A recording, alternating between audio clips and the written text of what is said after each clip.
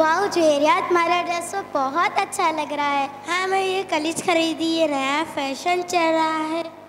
मायरा, आपका भी jeans T shirt बहुत अच्छा लग रहा है। मुझे ही बहुत पसंद है अम्मी लेकर आए। अरे अरे, उन दोनों को देखो, दिल्ली वो इस काले कपड़े पहन के आते हैं। हम तो ऐसे कपड़े नहीं पहन सकते। भाई, ये लोग चलते कैसा होंगे कि और सांस कैसा ले सकते होंगे? हाँ। चलो चलो उनके पास जाके पूछते हैं। हाय।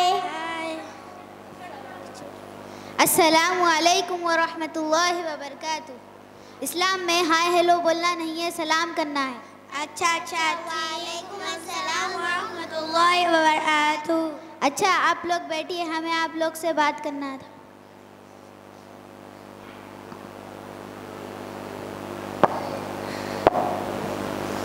आप लोगों ने कैसे मॉडर्न कपड़े पहने? हमारे जैसा पर्दा क्यों नहीं करते हैं? ये तो आजकल आप फ़ैशन है आजकल सब ऐसे ही कपड़े पहनते हैं। नहीं नहीं बहनों ऐसा नहीं है। कुरान मजीद में अल्लाह सुबहान व ताली सूर अहज़ब आयत नंबर 59 में फरमाता है कि अल्लाह के रसूल सल्लल्लाहु अलैहि वसल्लम आप कह दीजिए कि अपने बीवियों बेटियों से और मुसलमान औरतों से कि वो अपने ऊपर चादरें ओढ़ ले।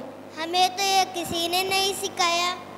हमारे माँ बाप तो हमें ऐसे कपड़े पहनने से नहीं रोक ऐसे कपड़े पहनने में भला नुकसानी क्या है? नहीं नहीं मेरी बहन अल्लाह के रसूल सल्लल्लाहु अलैहि वसल्लम ने कहा जो औरतें ऐसे कपड़े पहनती है वो जन्नत में नहीं जाएँगी। या अल्लाह हमें तो ये बात मालूम ही नहीं थी। इंशाअल्लाह आज से हम भी पर्दे की पाबंदी करेंगे इंशाअल्लाह। जज़ाकल्लाहु खैर अस्सलामु वायकुम वालेकुम अस्सलाम व रहमतुल्लाहि व बरकातुहू